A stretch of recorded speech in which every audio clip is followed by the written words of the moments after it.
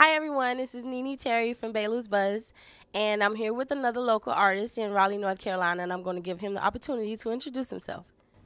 Hey, how's everybody doing out there? Uh, your boy Rico Swain, straight out of 919. You know what to do. Um, yeah, I'm here. So you rap? Yeah. Is that the only thing you do? MC? No, I'm very talented. I like to make people laugh. I, I, I think I could be a comedian. Yeah, a little Yeah. a little bit, a little bit. So do you write your own music? Do you have a writer who does that for you? Uh, nah, if I did, I'd probably be making millions if I had a writer. But yeah, no, I'm kidding. Nah, yeah, I write my own music. Everything's done, you know. Stacks a million, Tooch, sound right. They do all the produ- you know, production on it and everything. So, All right, so if you weren't rapping or emceeing, what would you be doing? um, I don't know. I'm a real techie person. I like a lot of gadgets. So yeah, I'll probably be What kind of phone you have? uh, uh, iPhone, of course, Which one? the five. What, really? Yes. Why would you do that? Not anything but the five. Do you have a MacBook, Uh, yes, I do. iPod, Yes, I do. iPad? Yes, I do. All right. It's even on my watch. Tell them holla at me. See what time it is? See what time it is? That's what I watch. That's new shit. Y'all better check that out. So you got all the Apple products, real techie dude, huh? Yeah, pretty much. Okay. So, who was your musical inspirations? Um, of course, Michael Jackson. You know what I mean? That's the king, man. Gotta give it up to Mike. Work for it. like when you make it big and you don't want to six apart, shouting out NeNe Terri and Bel Ou's Buzz Yes, and sir. sound right. who, what artist would you most like to work with? Work with? Um, all of them. You know, of course, Jay is an icon. Jay Z. Um, Nas one of my favorites. He's one of my favorites. I gotta shout him out. Um, all of them. All of them. I don't, I don't, I don't, I don't limit. You know, I don't limit boundaries because you never know. Because I mean, two things that you think that might not mix might have a great mix on it. You know what I mean? so all the true. people that you might not think you work well with because their music, is, you know, doesn't apply to you or your lifestyle. You might make a hit record with them and it might Mm-hmm. be super, super hot. So yeah, everybody. That's good. So, uh, what does your family do to support you? Um, basically, you know, they they promote me.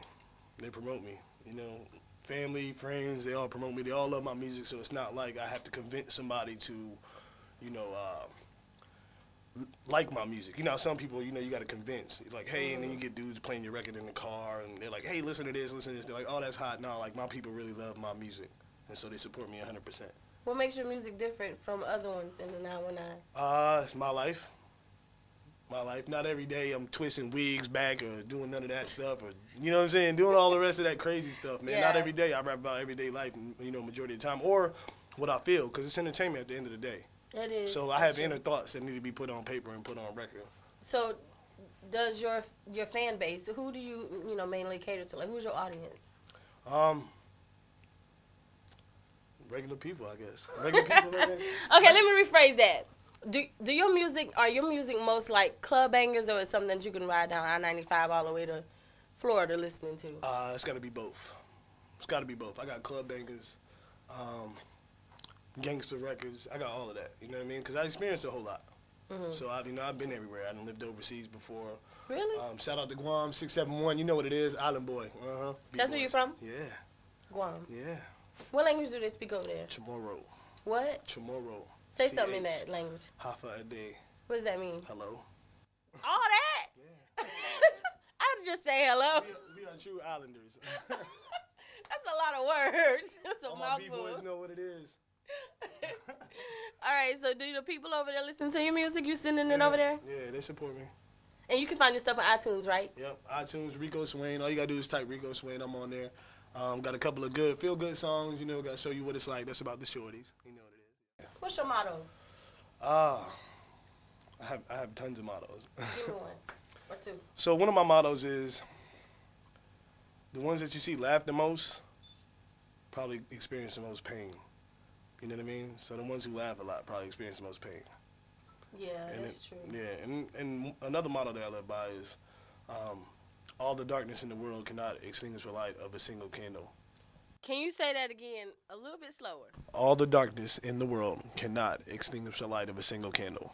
That one kind of stuck with me only because I mean I really thought about it. If the whole world went pitch black and I had a lighter, and I lit the lighter, people could see that flame for miles away. No matter what, I'm gonna shine. No matter what. So Aww. It's like another one of my mottos. You know, is uh, a song is like to me, and this is to me, a song is an emotion trapped in time. So whenever whenever you get like, um, whenever you have a song and you feel happy, you play a happy song. Whenever you're sad, you play a sad song. You heartbroken, you li- you might listen to Jagged Edge or somebody like that, 112 Cole. or Keyshia Cole. You know what I'm saying? Yeah, you know what I'm saying. So I mean, it's it's real, it's real heartfelt. What do you think your kids are gonna see you as, like if you know, in the media? Uh, I try to I, I try to keep it proper. I mean, of course, you can't shield you know children from everything. Right. You know what I mean? Because my mother couldn't shield me from everything. Um, but I hope they see that I worked hard and I was you know at least I tried to expose my talent. You know what I mean? And go for what I want without anybody telling me anything else. So you're not afraid of, of how the media may portray you? I wouldn't say afraid. I may be angry, but I'm not afraid. You know what I mean? I may be angry, but Right. not afraid. But I mean, if you keep a if you keep a solid foundation, if you keep concrete to build your house on, can't nobody blow it down. You feel what I'm saying? Amen. you are a man of words.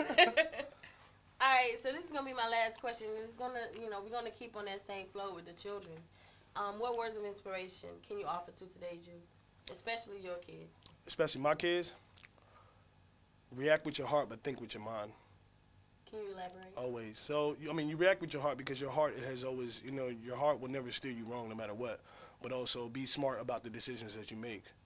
You know what I mean? Because your heart might have a direction, you might not know where to go, know how to get there. You know where to go, but you don't know how to get there. Well, your brain is going to tell you how to get there. So be smart. The less mistakes you make, the easier it is. All right. Anything else you want to say to the kids? Um, I love the kids. I would like to, you know what I'm saying? First of all, I would like to thank God first and foremost for everything, for me breathing, you know what I mean, for my kids. I love all my children. Um, for just me being here, you know what I mean? like to give a shout out, uh, Real Talk, Sound Right, of course, Mon State, Def Jam, Island Def Jam. Um, shout out Small World 919, shout out Wally G, shout out VBG, uh, Verbal Van Gogh. You can check all them out on Twitter too. Check me out on Twitter, Rico Swain, Facebook, all of that. Y'all know what it is. Everything's at Rico Swain. Everything Rico Swain. Um, yeah, shout out to Bays Entertainment. Shout out to Bel Ou's. You know what I'm saying? For those of us who well, not us because I can, but for those who cannot correctly spell, because you know a lot of people can't spell these days. You've seen those Twitter updates and Facebook statuses. Spell your name for them. uh, R I C O S W A I N.